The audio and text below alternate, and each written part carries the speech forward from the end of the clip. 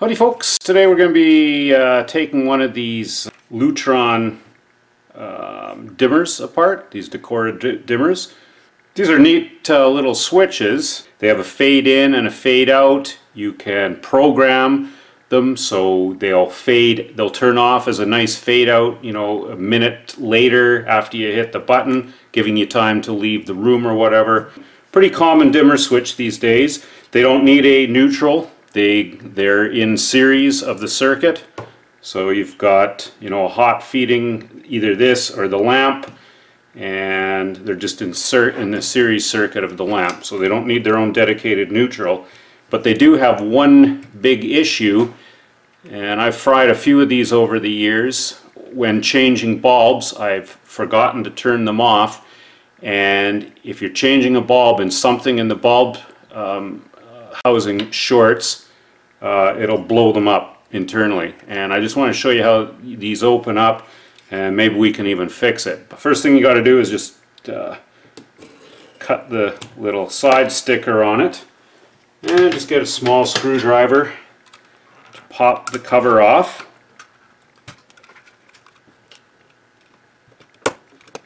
You should just pop out. Okay. There's just two little Phillips screws that hold this uh, front aluminum uh, top housing onto the back housing. Uh, there's also a rivet here that's uh, on the um, transistor. Uh, so you, you have to drill it out. They've heat sunk the transistor right to the metal face of it just to dissipate the heat. So you just have to drill out this rivet like so. And our Phillips screwdriver, we'll take these Phillips screws out. And then this rascal should just pop off. Oh, there's a little uh, plastic tab here too. This usually breaks off when you try to open it. There we go. Uh, should pop off. Oh, I know. That, uh, I call it a transistor, it's actually a triac. Uh, gotta get, pop that off of the rivet there.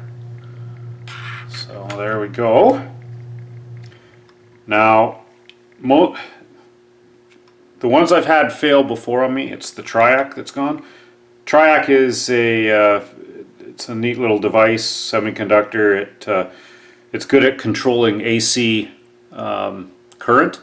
So um, you can look it up online, but there's there's essentially it'll it'll flow it'll flow current in both directions for AC, and it's controlled through the gate. Just think of it as a as a switch essentially. Um, anyway, so and there's a middle half here as well. Now these boards are held in with soldering, so I'm gonna have to get my soldering uh, iron out. And I'm going to get some solder wick and I'm going to solder these two pins that are holding the board in. I'm just going to pause it while I do that. There are these two uh, soldered pins. Well, I've, I've just put the solder wick on them, got most of it off. It's still stuck in there though. And these pins are just going to your two hot leads. Well, one's hot, one's output, or the dimmer one. And uh, yeah anyways there's a little notch in here. You can get a flat bladed screwdriver in you know have some safety glasses on or something because when you're doing this sometimes the solder can pop up. This one seems to be the one that's stuck. Come on come on come on come on. There we go. The other one's stuck too a little bit Okay, so that's all there is to these, well, quite a bit. There's a lot crammed on these little boards. Uh, the microcontrollers on the back half of it. Um, little mauve in there. But uh, like I said, this is the usual culprit. It's a triac. And the number on here is, geez, where are my glasses? Um, 130-082 it looks like. Um, anyways, to test these, I, triacs usually fail closed and that's what happened when I changed the light um, it, something in the it was a pot light and the wire in it must have got pinched when I was putting the pot when I was putting the light assembly back in the pot I heard it spark. Uh, it didn't blow it didn't break the breaker. Uh, and then it just went to full brightness and I couldn't shut it off with the switch. Um, there's no way to turn it off. And uh, chances are this is the culprit so we'll just there's one way to check it. Uh, when you look at these triacs um, this is the gate lead on this side. So when you're looking at it face on with the heatsink on the back uh, writing on the front uh, this is your gate lead uh, and if you follow the trace looks like it's going through a little Zener diode and then probably down to the microcontroller, maybe through another um, switching transistor, probably through a switching transistor. But anyways, these are your two switched leads. To check this, get your multimeter on the ohm scale. Uh, actually, we're, we're going to go into uh, do the continuity thing. And if these, if this is shot, this will show continuity which it is. So it shouldn't be doing that. A good triac, uh, your two switched leads will be open when it's not being triggered by the gate. To show this a bit better, I just uh, I unsoldered the uh, the triac out of here. Uh, like I said, this was a 130-082. I looked that up online. Can't really. There's a few of them. Looks like they're direct from China. Um, can't really find specs on it. Uh, the closest I can determine it's it's pretty much the equivalent of a BTA uh, 08, um, probably a 400 volt rated triac.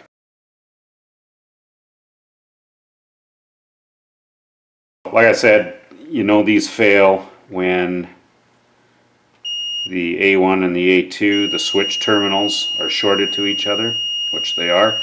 A good triac that won't be the case. Okay, only when they get the signal from the gate will they close that, close those two. Um, and that's essentially what's happening in a triac is that gate is being pulsed on and off um, to cut the the waveform. That's what makes a triac neat is it, it doesn't just do one half of the waveform, it does both halves. So uh, I'll try to draw a sine wave here. So if that's our sine, if that's our AC sine wave, what the triac will do is the more you dim it, it'll start chopping off part of the uh, of the sine wave current, and the more you dim it, the more it will chop off equally on both sides. At least I think that's how they work. I'm sure someone correct, will correct me if I'm wrong. So, like I said, uh, I've got, I found a couple of used ones I had in the old junk bin. I think this one came out of a fan control. This is a uh, BTA 12. Um, like I said, you'd probably be okay with a BTA 08 or even an 06. I think that's what the 1308082 is roughly. Um, then I've also got, this is a common one, a BT 137.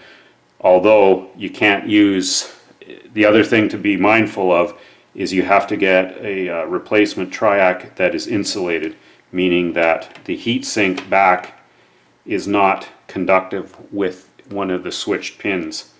Uh, a non-insulated triac, that center A2 pin, will be conductive with the uh, with the heat sink.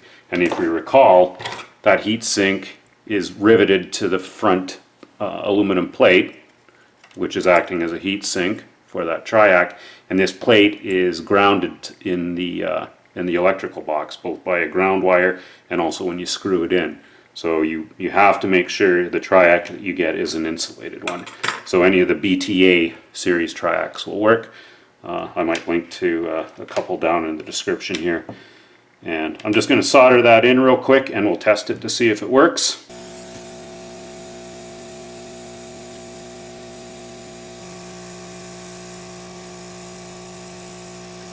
We're back all hooked up show you real quick how we've done this. This coiled wire is coming from a power bar feeding the switch, so it's getting 120 volts AC.